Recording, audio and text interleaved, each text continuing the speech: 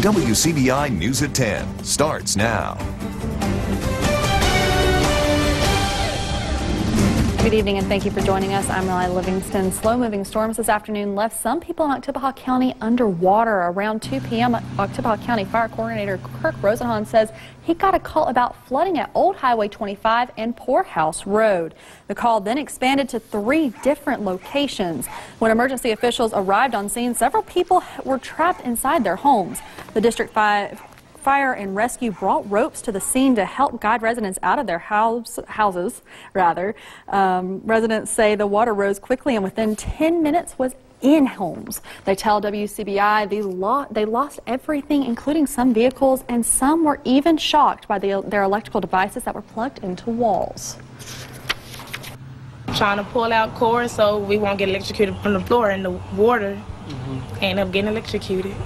Everything. Everything. Uh, the refrigerator and the freezer was floating in the water.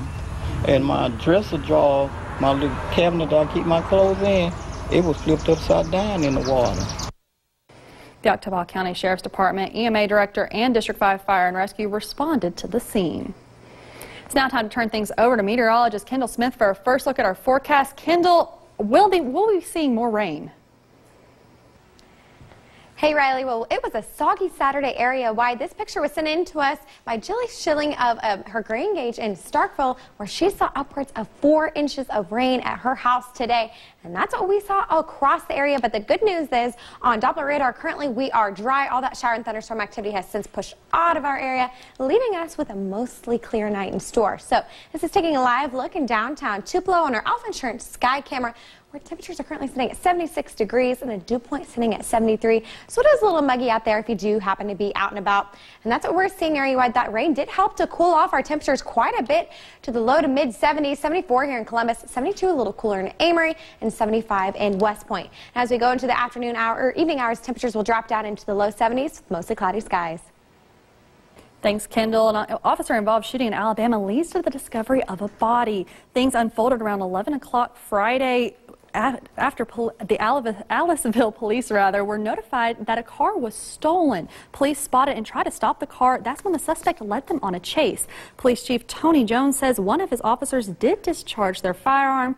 However, neither the suspect or officer were shot during the incident. One investigator, uh, once investigators were on scene, they discovered at least one body inside of the stolen vehicle. At this time, Chief Jones says they don't know how long the body was in the car and can't release how it's connected to the incident. One person has been arrested, but charges are still pending. That investigation involved three different locations, all within a few hundred yards of each other. One, one location was by a restaurant, the other by the Napa Auto Parts store, and the third near Spiller Furniture. We spoke to a few people who say they've lived in Aliceville all their lives and have never seen or heard of anything like this happening in their community. I saw the police chasing down the road, and I said, man, what's going on? Because something like this be, everybody in Aliceville know everybody. This little town here, something happened like that, that shocked anybody. That's kind of scary. Well, it was shocking. It could happen anywhere. That uh, we all in small towns never, you know, always expect the unexpected because you never know. We'll have more details on the investigation as they become available. A Massachusetts man will be sentenced this fall after pleading guilty to a federal sex crime. 34-year-old Michael Petrucci of Dedham, Massachusetts, admitted in Greenville federal court Thursday he talked to a Lowndes County child to send him he talked a Lowndes County child into sending him partially or totally nude photographs. Prosecutors say the child who was under 15 was contacted through social media. Petrucci is currently an inmate at a Massachusetts prison on sex-related crimes in that state. U.S. Foods in Birmingham, Alabama is recalling around 712 pounds of raw pork and beef products due to possible product contamination. The items recalled were shipped to restaurants in Alabama, Mississippi, Georgia, and Tennessee and have the establishment number 21103 inside the USDA mark of inspection. The USDA and Food Safety and Inspection says an employee at the facility may have cut himself during production. FSIS is concerned that some products may be in refrigerators or freezers and is encouraging restaurants to throw the product out or return it. The 155th Armored Brigade has returned from deployment to several locations in the Middle East, and today they attended an event to help transition them from warrior to civilian to citizen soldier rather. WCBI's Chad Groening has the story. The 155th Armored Brigade Combat Team headquartered in Tupelo returned earlier this year from a nine-month deployment to the Middle East in support of Operation Spartan Shield. And Saturday, returning soldiers descended on the Bancorp South Arena for a Yellow Ribbon reintegration program, a Department of Defense effort to promote the well-being of National Guard and Reserve service members, their families, and communities by connecting them with local resources before, during, and after deployments. Lieutenant Colonel Christopher Journey is commander of the 1st Squadron of the 98th Cavalry Regiment headquartered in Amory. He is proud of how his unit performed their mission. I'm very proud to be a part of this organization. Not only this organization, but this organization has made a lot of history. So being here, being able to thank the families, being able to thank the soldiers uh, for their service and what they've done is huge and very important to me as a commander. Sergeant First Class James Hall is with the headquarters and headquarters detachment of the 2nd of the 114th Field Artillery Regiment in Starkville. He says these events are invaluable for a returning soldier. My first two deployments, I came home to these yellow ribbons and uh, listened somewhat, and I didn't listen to everything, and I tried to zone out. But uh, this yellow ribbon, I've, I've learned a lot. There's a lot more that I'm taking home that I wish I had learned during my first deployment or after my first deployment. So uh, my life could be completely different now had I listened as I should have.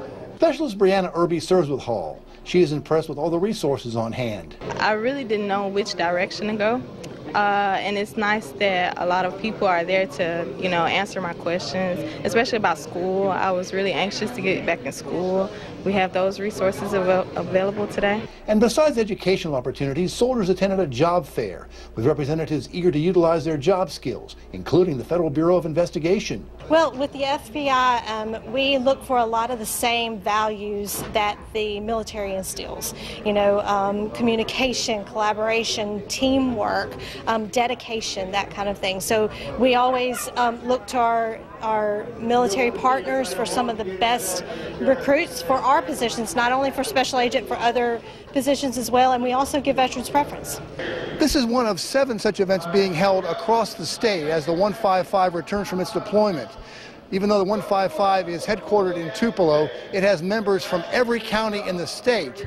Dr. David Anderson is a motivational speaker and counselor who was on hand to give the troops encouragement. A lot of it is just coaching folks up, both soldiers and their family and loved ones, of how to navigate the deployment cycle and to where the deployment is not uh, like just a downer, but could be a, a time of real uh, where they flourish. Chad Groening, WCBI News, Tupelo. Approximately 1,100 service members and their families took part in today's event. The start of school is quickly approaching, and to help get parents and students ready for the new year, Life Church held a school supply giveaway.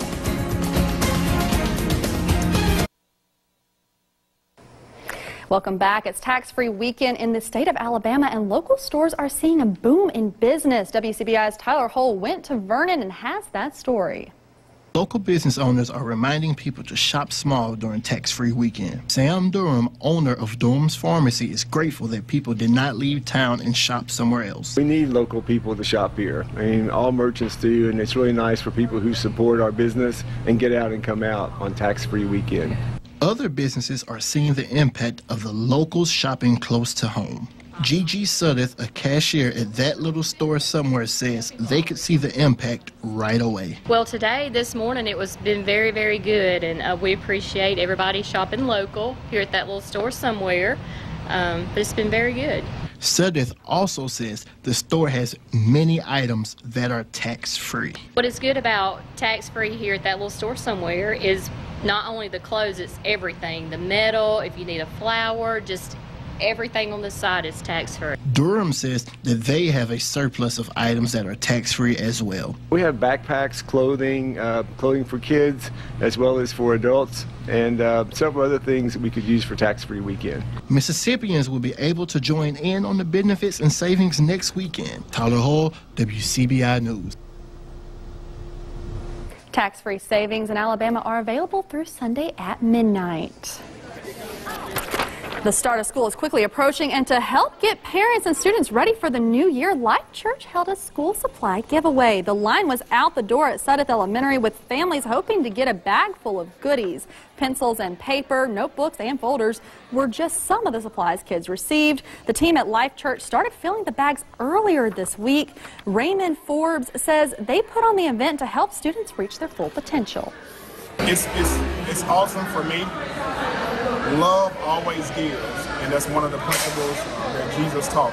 And so it's huge just being able to give back um, to the community, um, to help our students as well as our parents, because ultimately we want to ensure that every child has everything that they need um, so that they can reach their fullest potential. Supplies were first come, first serve, and by 10:30, everything was picked up.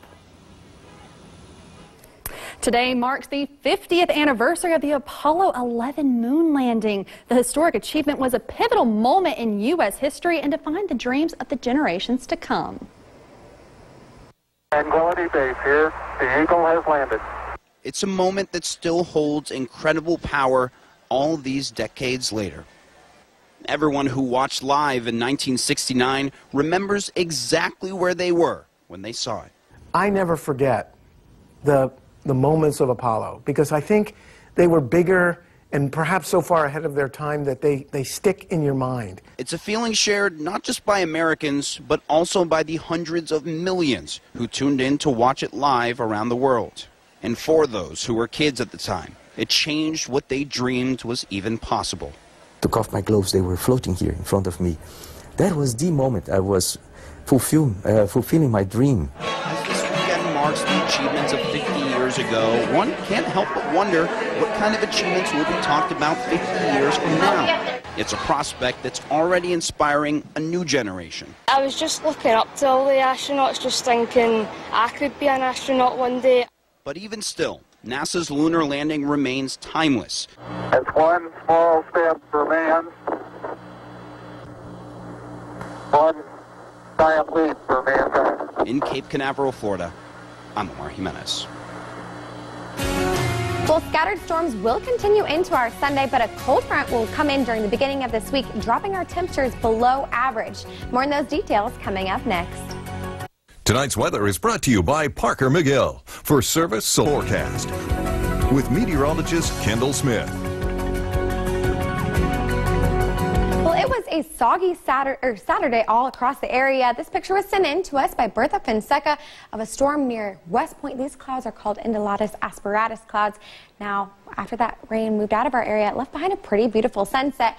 This picture was sent in to us by Cassie Cawthon of the sunset in Louisville this evening. Now, if you ever get any neat pictures like this, make sure to send them in to us at WCBI Weather on all social media platforms. We would love to see them. Now, area-wide temperatures are a little cooler, sitting in the mid-70s currently. 74 in Columbus, 72 a little cooler in Amory, and 76 is our warm spot in Tupelo.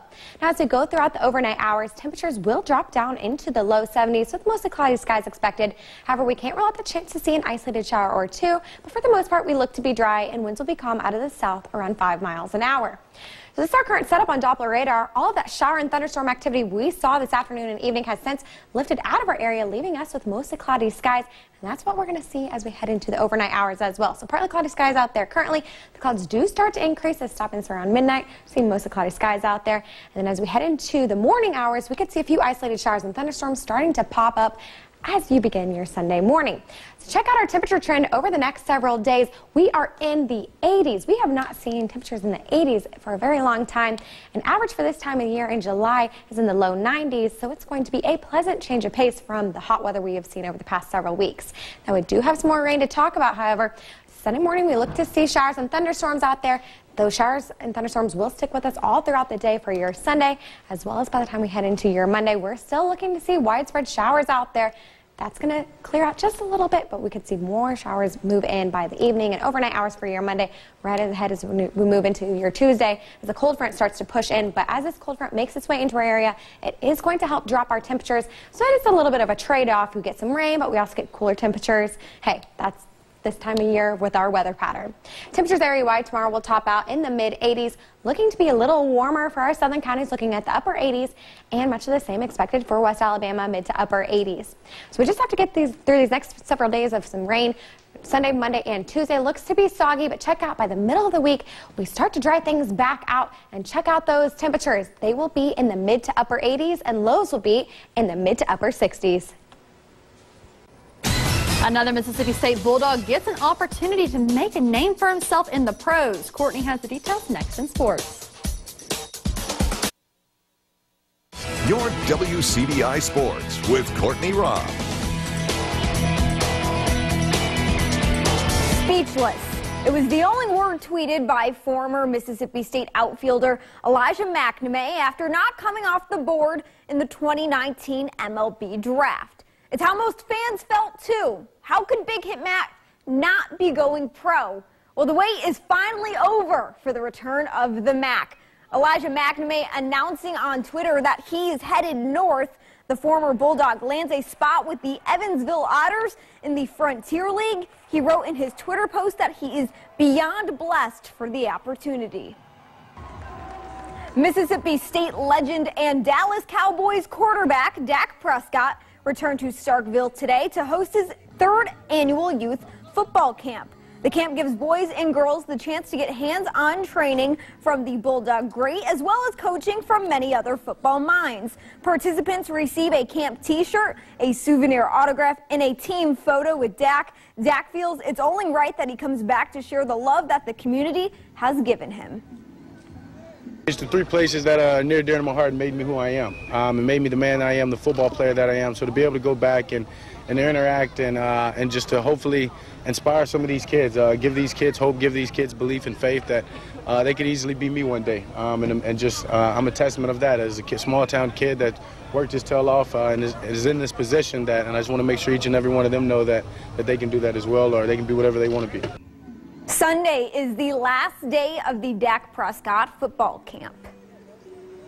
Well, the saying goes that history repeats itself. The Chicago Cubs taking that saying to heart at the historic Wrigley Field, looking to repeat Friday night's 6-5 victory over the Padres.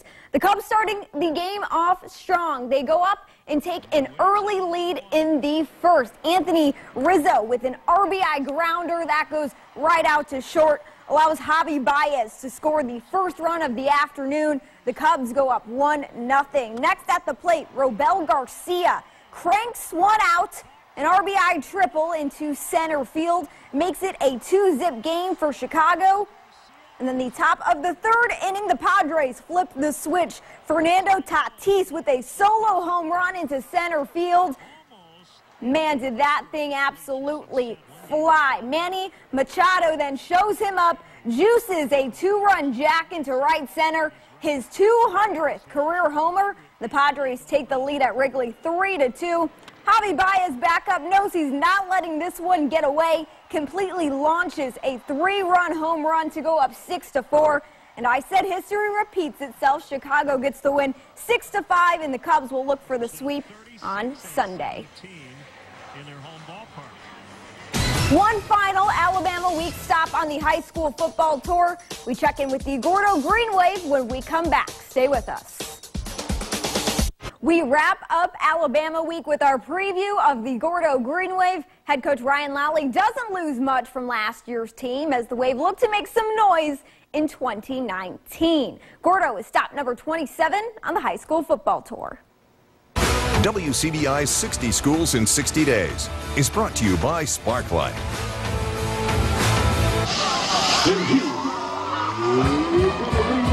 One word to describe the Gordo Green Wave experienced. Coming off a 10 win year, Gordo enters the 2019 season returning the team's core. You know, we've got a lot of older guys, a veteran team that's done a great job of leading us, and uh, they know what it's like because they've been here a while, so they, they do a good job with the young guys. We, we got a lot of veterans that's back, you know, a lot of guys that know what to do, so give our team a lot of confidence, confident booster. Try to be a, a extension of the coaching staff as much as possible, and we just try to uh, lead by example, and we just tell them to follow our ropes because um, we were on the classroom that once, and that's how we better ourselves by fall on the others. The Green Wave bring back 10 starters on defense, led by a tough group of linebackers. We should be pretty tough defensively, and then uh, you know, our linebackers. You know, we feel like we got a good group of linebackers, but in, in the back end and our D line, all of them, you know, contributed a lot last year, and uh, they'll, they'll do a good job. What we expect, we're just going to be uh, fast to the ball. We're going to be uh, vicious, and uh, we're just going to give it all we got.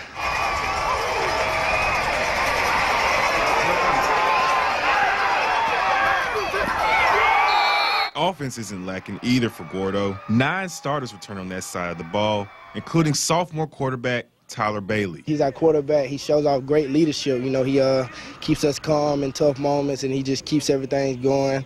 He's an upcoming sophomore, and he already plays like a senior. He's, he's, he's progressed really well. He, uh, he's growing really fast, really fast to be at the young age. Uh, he's really smart, really smart, and we're just glad to have him. Leadership keeps the Green Wave grounded as they enter the new season. We play hard teams uh, week in and week out, but we know that uh, we're in competition with ourselves, and as long as we beat ourselves that week, then we're going to be all right. Reporting in Gordo, Alabama, on the high school football tour, Chris Bolton, WCBI Sports. 60 schools in 60 days with Gordo High School was brought to you by Shop and Save, Vernon Dental Clinic, Alpha Agent Alicia Clark, and H&R AgriPower.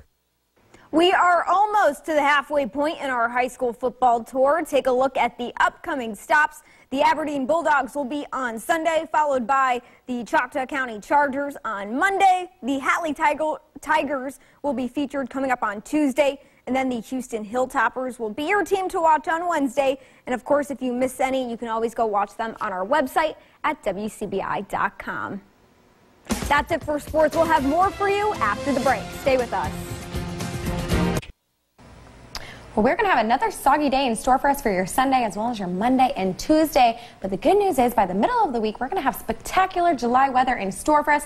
Check out those temperatures. They will be in the mid to upper 80s, and those are going to be in the low to mid 60s. We have not Ooh. seen those numbers in a long time. That's exciting. I'm excited for some nice sun and no rain. Yes, exactly. we hope everyone has a great night, and we'll see you back here tomorrow.